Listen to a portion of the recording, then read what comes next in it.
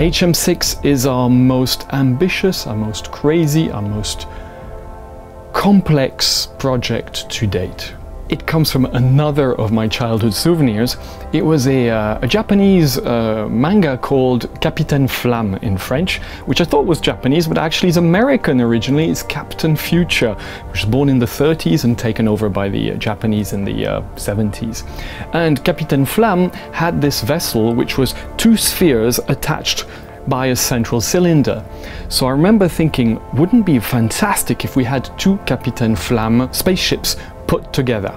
That was the initial draft sketch I did. And in the center was actually the engine powering up those two pods, which were the spaceship.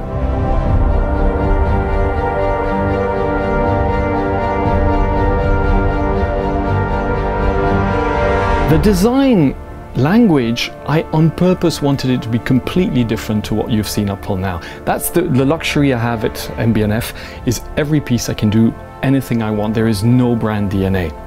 We went back to something which was very important for me, the late 70s, beginning of the 80s, an incredible designer called Luigi Colani.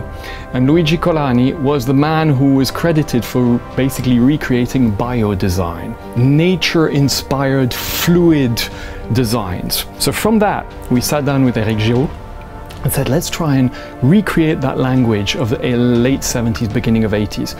Fluid, bio, anatomic practically, something which was virtually like an animal.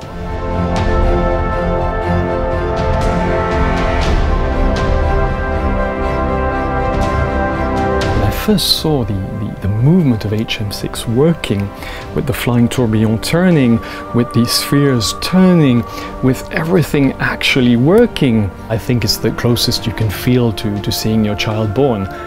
It's not nine months, it's four years. And um, wow, it's. We're all in the team extremely proud of this new baby.